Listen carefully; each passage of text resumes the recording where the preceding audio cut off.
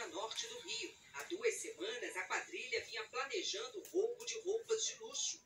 Dias antes do crime, o grupo percorreu a região e, com a ajuda de um taxista, mapeou a área para definir como seria a chegada e a fuga do local. Você pensar a saída. A saída já vimos já, cara. Segundo as investigações, um ex-funcionário da distribuidora também estava envolvido no assalto. Luiz Gustavo Hoffman foi preso em casa na zona sul do Rio. Por meio de mensagens de áudio, ele passava informações para os assaltantes. Quinta às vezes é bom, sexta às vezes é bom, quarta, esses três dias. São os dias que mais coisas legais, tá ligado?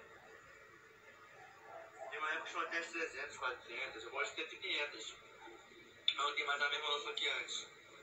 E aquela hora que eu te mandei a foto do carro, uma e meia, duas horas, mais 150, ligou? 100.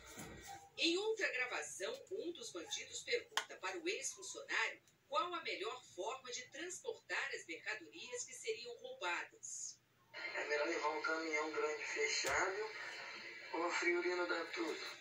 A distribuidora alvo da quadrilha está há dois anos no mercado. Faz entrega de roupas e de marcas famosas utilizando bicicletas. Há pouco mais de um mês, a empresa se mudou para cá. Os sócios não tiveram tempo de colocar câmeras de segurança e nem alarme. O ex-funcionário também sabia desse detalhe. Um dos sócios conta que no fim do mês passado, o ex-funcionário esteve no novo endereço para buscar uma bicicleta. Na ocasião, chegou a gravar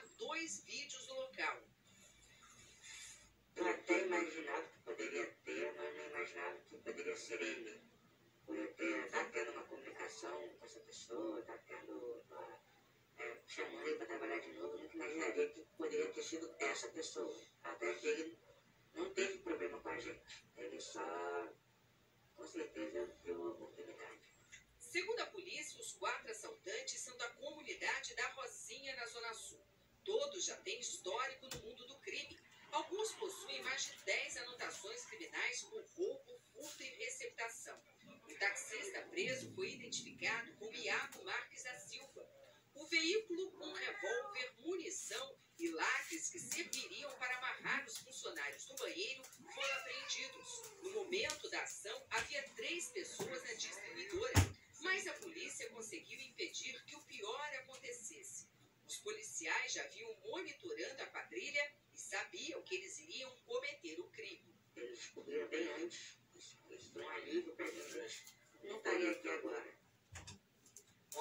quadro de pessoas.